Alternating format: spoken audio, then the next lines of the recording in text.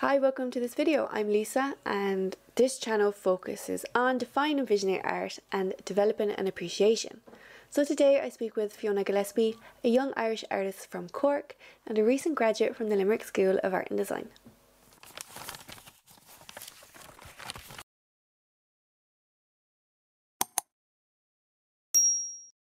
So could you introduce yourself? What's your name, your uh, age and your educational background? I am Fiona Gillespie. I'm 22. I went to secondary school in North Cork, and then I had no idea really what I wanted to do up until about um, leaving cert. I was going, oh yeah, well, in my head, I was going, I would never do fine art. You know, it's it's like I would never actually get a job or anything in it, and I mm. wouldn't be capable of it. So I ended up doing sculpture, and um, I did I like I was kind of all over the place for a while and I wasn't sure like what I wanted to do but um yeah I just wasn't happy. I like I like my mom as well she says you should have done painting. Mm. but um I just with I didn't do the painting elective so in my head I was like I can't do painting now you know? Whereas I very much could have done painting. Yeah. Um, uh, I kind of gave up. I'm very good at giving up on myself a lot. um, like I'll, I'll, give up on things before they've even started sometimes. My my fourth year, I was going. It was the summer before, um, just that literally the start of the pandemic that summer, and I was at home and I was talking to my parents. I was like, I can't do this. Like I need to take a gap year. And my mum was like, maybe you should take a gap year. And my dad was like, you're not taking a gap year. You're doing it. You're more than capable. And I was like, okay. so I went in and I was going, oh my God, I can't do this. Oh my God, I can't do this. And then it kind of, I just, I literally, I remember I had an epiphany moment where I was lying in bed and I was like, why don't I literally just make art about me and my demons of not being able to do things? So I came up with this concept of idea hunters and idea prey because I'm really into biology as well. If I am, I kind of have the, I kind of have the idea if I didn't do art, I probably would have done biology. But the problem is I'm very squeamish, like ridiculously squeamish, which is kind of ironic since I love monsters and kind of I do love a bit of gore, like but I'm very squeamish, which is I just if, if it's like if, if it's if it's put onto me, I, I'm like no. Whereas if I go actively looking for gore, I'm okay with it. It's like non-consensual gore for me scares me.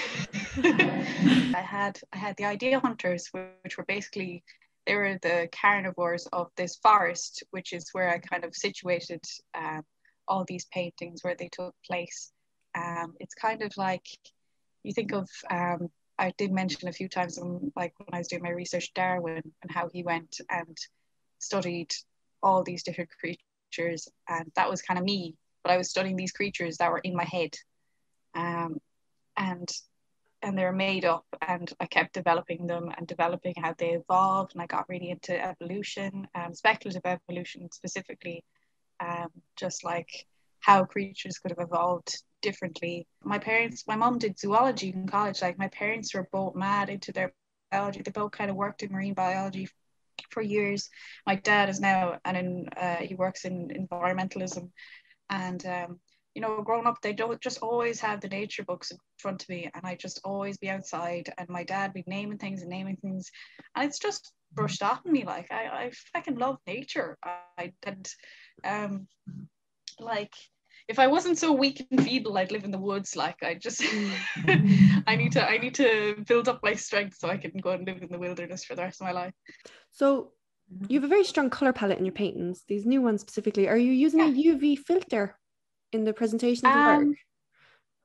I well, I didn't actually in my grad work, and I haven't put my grad work under like UV lights yet. What I have is they're blue LEDs, uh, but they're really good. They're really bright. I have like ten meters of them.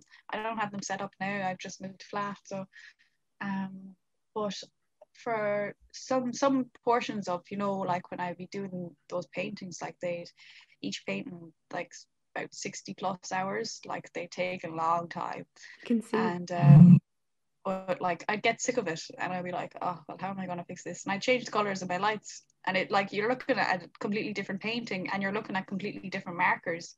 Um, like color wise, I, I kind of use Posca a lot. Posca would be my main one, and then I use acrylic paint uh, as well. Um, and I kind of I don't use the acrylic paint as much. Um, in I kind of just like it for the fluidity, like in some of the paintings. You know, you can't really get that with markers. You know, it's mm. it's it's more um, what's the word spontaneous, I guess. How would you start mentally in creating those like images? So you you see a blank I, canvas. What's what goes through your head from start to finish? How do you organize the chaos into something I coherent? Love, I you see, I don't necessarily know if it's coherent, um, but I just I literally just paint from or I draw from my head. Like I just I don't I don't necessarily plan them out beforehand. I'm like I'll start drawing and I'll start drawing in one spot and I start thinking what would look nice over here or what would look nice over there. And then it's just all kind of like I love filling in space. Like there's so much detail in my work and like if I see a gap it upsets me. Like in one of my paintings and I'm like I have to put something in here. Da, da, da.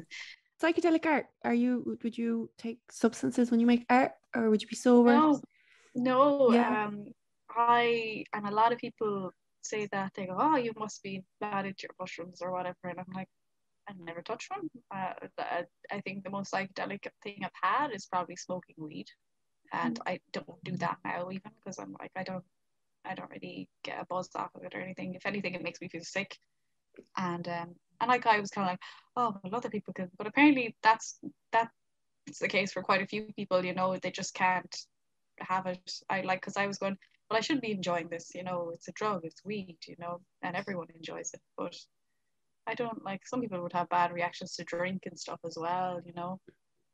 And um, I just don't. I don't do any psychedelics. I I feel like there's so much going on in my head. If I had anything like acid or LSD or something, I definitely just end up killing myself.